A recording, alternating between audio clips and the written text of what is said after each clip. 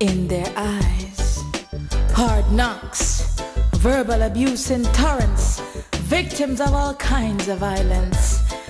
There's no light in their lives. These children have no shine in their eyes. No happy childhood, only nightmares, beatings, other things, cruel treatment in the hood. Days without food, love, or shelter. Can they get things a little better? Government ears are tuned out from the sound of their tears. Everyone hears, but no one cares enough to make it better. Just a little less tough. Lord, it rough.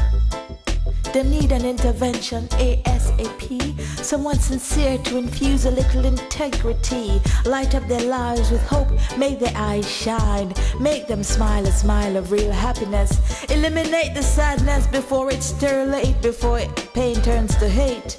Before hate takes hold of another young soul down in the ghetto. And we know how the rest goes from there.